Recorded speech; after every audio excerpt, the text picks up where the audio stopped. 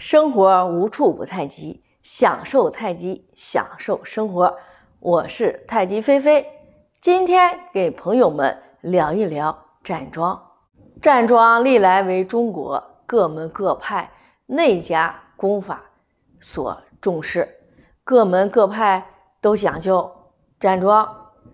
哎，俗话说，练拳哎不练功，到头一场空。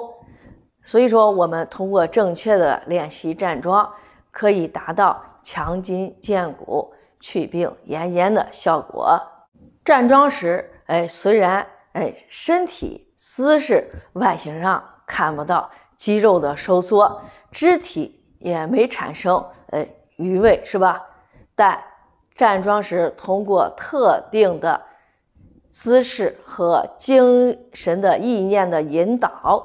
可以使全身肌肉用劲，得到一种新的有序调整，全身的血液循环能促进新陈代谢，增强哎我们体内的脏器官之五脏六腑的功能。站桩呢锻炼，哎，主要目的在于强健筋骨和充实五脏。我们在站桩的时候，呃，把身体拉直，是不？脊柱一一正，就会带动五脏的位置的回归到自然的一种状态。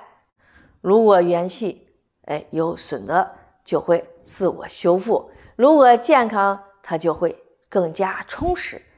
身体有巨大的自愈能力，这种能力大到什么程度呢？哎，就是世界所有的医药的能力也比不上。人体的自身的自愈能力，医药的作用呢，其实就是帮助人体去除一些障碍，然后人的自愈能力就会让人恢复健康。占养生桩，哎，为何呢？哎，祛病延年呢？哎，主要有以下这几点。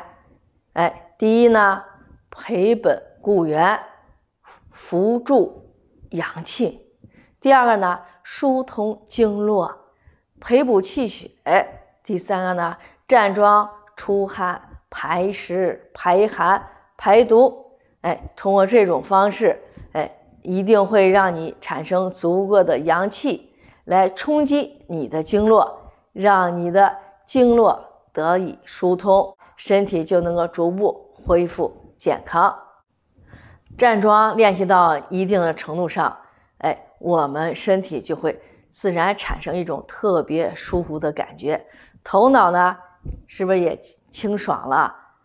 哎，病状也消失了，精神呢，哎，也振奋了，四肢呢有力了，全身都轻松。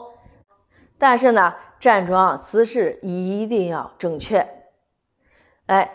此外呢，在站桩姿势正确的前提下，自己用功，哎，努力去站，哎，坚持，都会收到良好的效果。好了，今天我们就聊到这里，欢迎网友们评论区留言，关注我，带你学习中央功、站桩、太极拳方面的一些知识和内容。